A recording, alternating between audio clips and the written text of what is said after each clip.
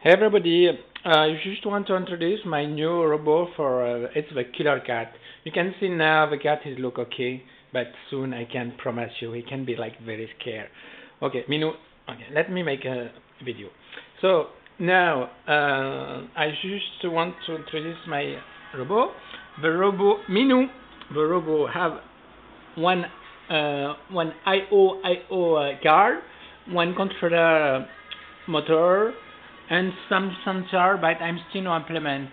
We have small battery, a very big battery, and 100 phone.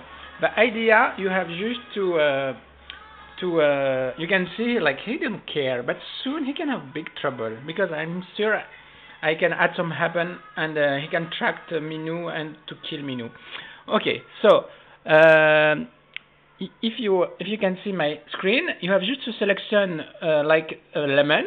When you click in lemon.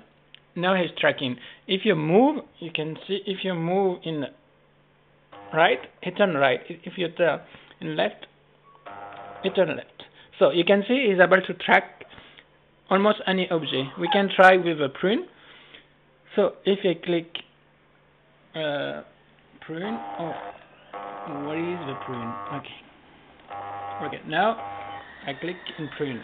So normally if if I move left you can see it on left. If I move right it on right.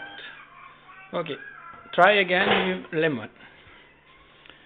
So I selection my lemon.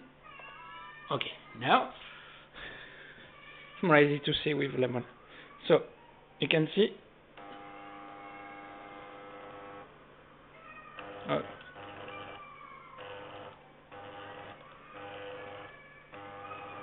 but uh, the next the next stage can be uh, okay. Sometimes it's a little bit crazy, but when he lose um, uh, when he lose the um, the target is a little bit crazy. But I I still have to uh, to work progress. Uh, so but soon Minou can say goodbye, peace, and I can just program all days, and he can like make very very sorry to be live with a nice. Very very nice cat. Say hello Minou